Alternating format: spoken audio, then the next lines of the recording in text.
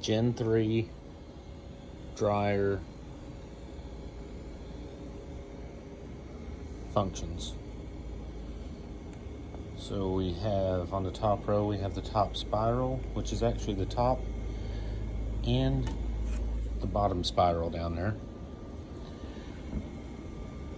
If we turn this on, we can control the vertical spiral, which brings the powder up into it.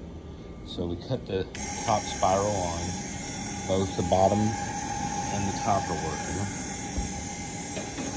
And we turn the vertical spiral on, and it'll start to bring powder up. See how it's bringing it up now? And we don't want to run this all the time, but this just recycles the powder okay?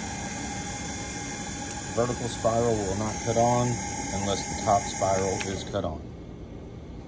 Next button is the step auto. Step is the belt control.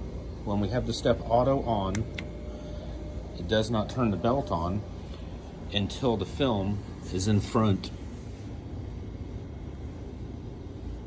of the sensor down there, and that's the sensor.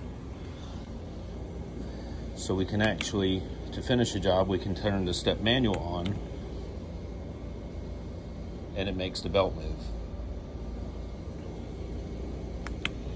Powder auto will actually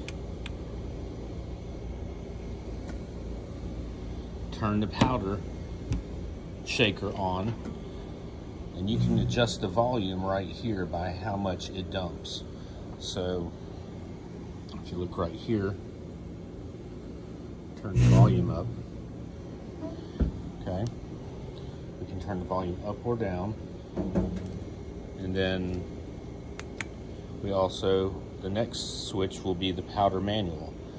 So when we cut the powder manual on, let's say we want to get a job started, we cut the manual on, it automatically dumps. On automatically dumps, off does not. And you can also adjust the volume right here of how much powder is dropped in the manual. Um, right here is the preheat button. Um, set at 22 degrees Celsius, and this actually is the preheat table, so it it dries the film as it, before it goes into the dryer. Um, and then we have the oven dry, and you adjust the temperature right here, up and down. Once we start a run, we want to make sure the vacuum is on.